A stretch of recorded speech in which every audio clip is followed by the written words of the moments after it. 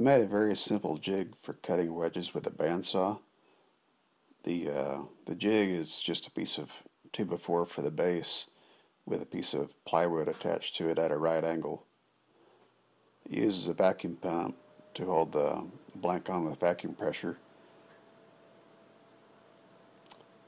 I use a piece of weather strip tape. It's just a piece of closed cell foam rubber weather strip and the inside piece is a piece of plywood that the block of wood uh, pulls down to and makes contact with so that you don't fully compress the, the weather strip tape.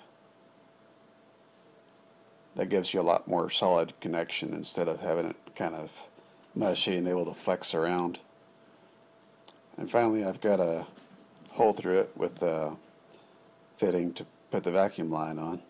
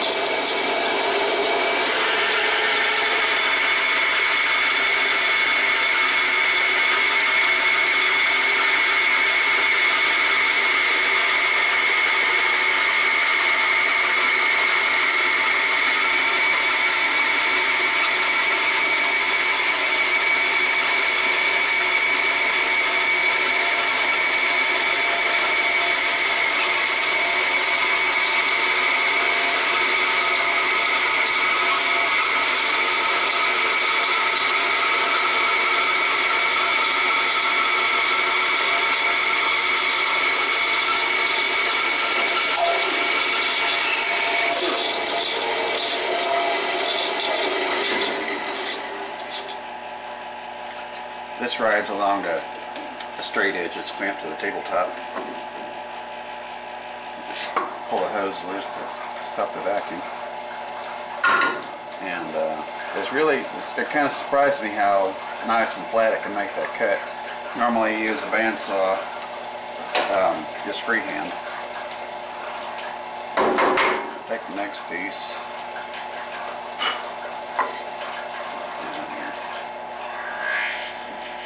And then this.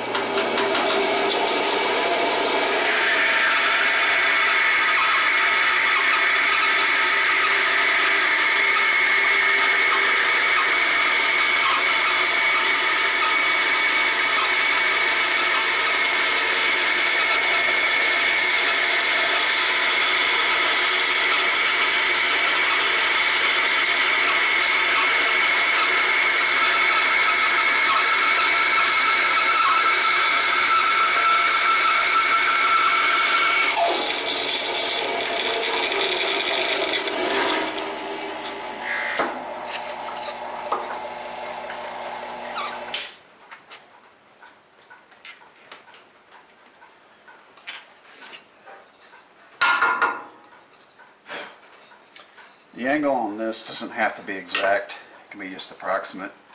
Um, I've got another jig that I'll put this, put each piece on to, uh, to true it up to exactly the right angle and I'll show it next. But this, it doesn't leave a step uh, where, like you would get with a table saw where you cut halfway through and then flip it over and cut the rest of the way. It tends to leave a, a step where the two cuts meet and you don't have that to deal with using a bandsaw. That works really well. This is the jig that I use for getting the angle of the wedges exact. Um, it's just made of a plywood piece with a couple of uh, triangles. The triangles are cut really, really precise with the uh, polygon cutting jig uh, made before.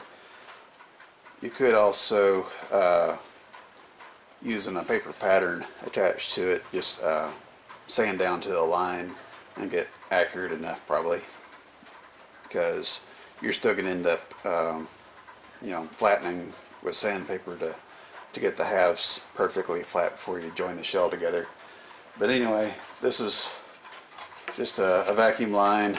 You it runs to this vacuum chuck that I've got here. And uh, I got this piece of thin plywood so that the, the gasket doesn't have to compress too much and it's got a, a solid surface for it to rest on. So I'll demonstrate how that works.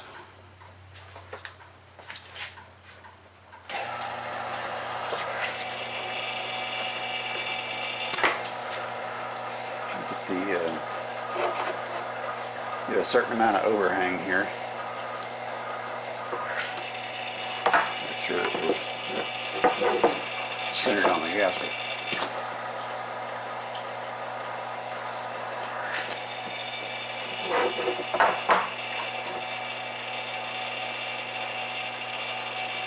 And also with this router bit, um, this right here will become the sharp edge of the wedge and that's very very fragile and so you'll want to cut it in a way where the router is you know pushing in on the edge instead of pushing out on it as it cuts. If it pushes out on against the edge it can blow the edge out mess it up. So I'll go ahead and wrap this. The uh, the cutter that I'm using this is like a tongue and groove bit.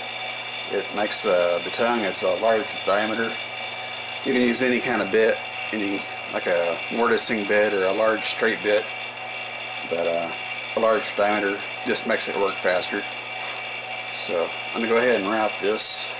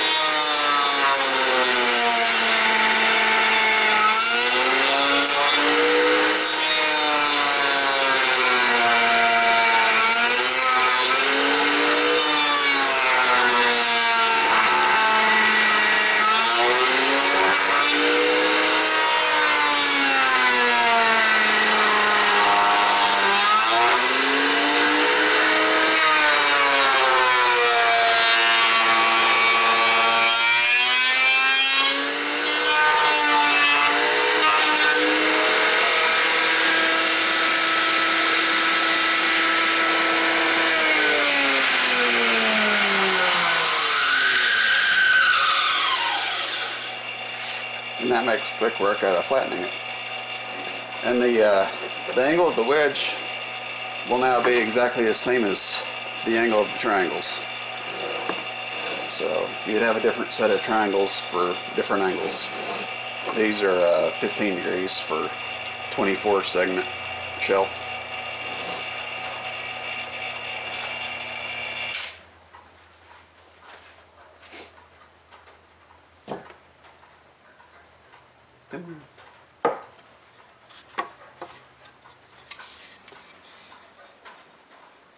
It a nice surface that shouldn't take a whole lot of sanding, nice and flat.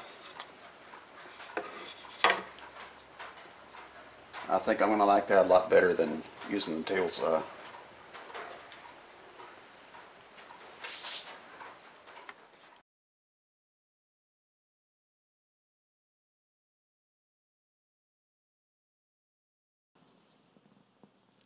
I went ahead and made another wedge out of pine to use as a test piece to check the angle with.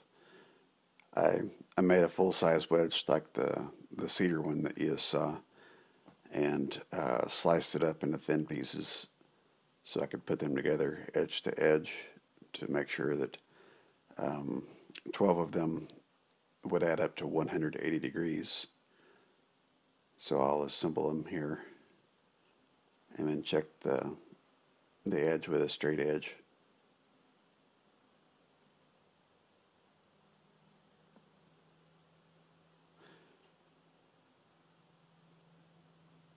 My makeshift router table is just a piece of um, particle board shelving material attached to the bottom of my router.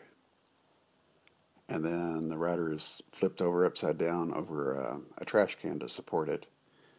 And it works pretty well. I'll probably make something more permanent that doesn't shift around later. Now I'll get my straight edge out wherever I put it. And this piece of wood will work. And as you can see, that makes it 180 degrees. I'll go ahead and um, put on 12 more pieces to make it full circle and show you the, the patterns you make with the end grain. There I just noticed that one piece was backwards. Thought it didn't look right.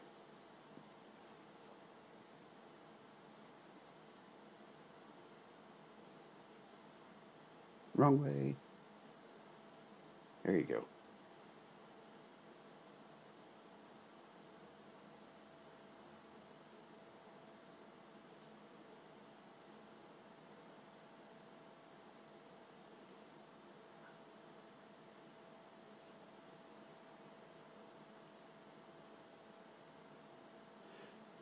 When you make a shell, you'll make it up in, into two halves that you put together, and so you have to have an even number of segments. Here's where I discovered I've only got 23. And here's that extra one that I've hid from myself.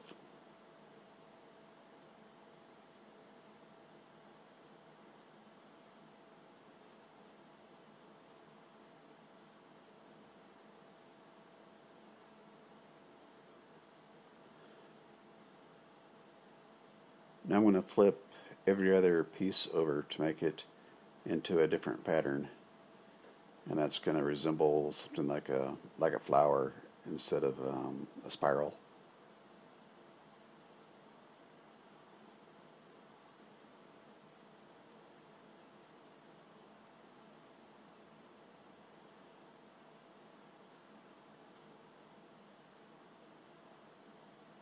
When you make a shell, if you can imagine this being what the the end view of the cylinder of the wedges looks like, you know, it'll be this pattern, you know, projected onto the, the surface of the shell. Looking at it from top down.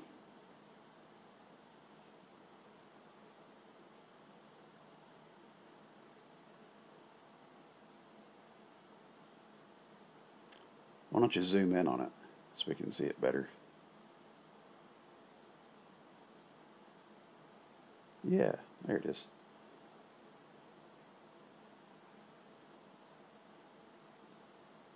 Thank you so much for watching. I appreciate your time.